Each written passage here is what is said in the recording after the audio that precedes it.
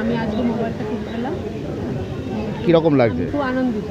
আশা করেছিলেন পাবেন? না কখনোই আশা করিনি আজকে সাত মাস বাদে আমি মোবাইলটা ফিরে পেলাম আমাকে বললেন যে ওই আপনি লক করে দিন নাম্বারটা।